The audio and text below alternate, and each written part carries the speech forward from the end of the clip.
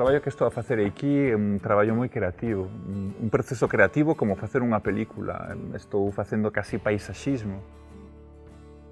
Escultura na paisaxe, é moi, moi estimulante. Ademais de que todo o traballo que se faga no campo a min pareceme que é moito máis estructurador, moito máis sano. Eu son cineasta e teño a sorte agora de poder elexir, pero se tiveran calquera outra profesión, pois tamén creo que daría este paso, non? este pequeno sacrificio de, bueno, de, de, de optar a, por un traballo máis relacionado coa miña esencia, que, bueno, esencialmente son, sempre o digo, pastor ou gandeiro ou agricultor, como herdeiro desta casa e moi vencellado a este espazo, a este val, aí que nos, nos encarres lucenses, pois creo que tamén sinto unha responsabilidade a hora de enfocar, digamos, os, os meus estudos, o meu traballo de campo, a traballar este val desde un punto de vista de enxeñería forestal, agrónoma e paisaxística. Pareceme que existe unha gran coherencia eh, no campus Lugo, toda esa orientación co sector primario,